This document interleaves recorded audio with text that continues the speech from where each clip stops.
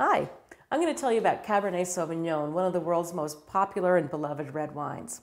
It's a big, sturdy red wine, meaning it always has a lot of body, probably a lot of flavor, a lot of tannin, and maybe a little bit of bitterness.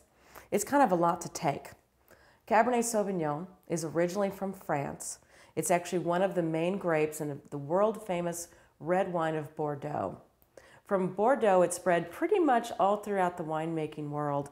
And in any cool to warm to moderate wine growing region, you're probably going to find a Cabernet Sauvignon. You could look at the map of the winemaking world and point to just about any country and they're going to make Cabernet Sauvignon there.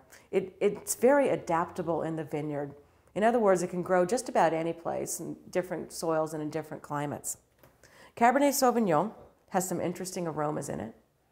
It almost always smells like blackberry or raisins or currants. That sounds good enough.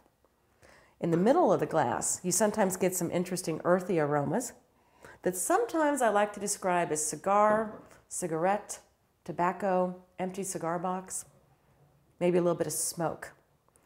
Okay, that sounds good. Keep going. In the middle of the glass, you might also found some chemical aromas. And one of my most common ways of describing the chemical aromas of Cabernet Sauvignon are leather, new car smell, plastic, tar, or wet dog. Now, if that doesn't sound very appealing to you, I don't blame you, but remember, that's an aroma. It's going to be a quick hit. It's going to go away.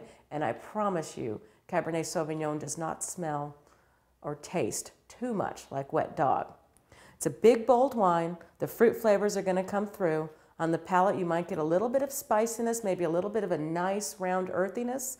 And if you want to enjoy your Cabernet, serve it up with a good hearty steak. Add some mashed potatoes, add some fried potatoes, add some green beans. You're going to have a perfect match for Cabernet Sauvignon, one of the world's most popular and easy to make red wines.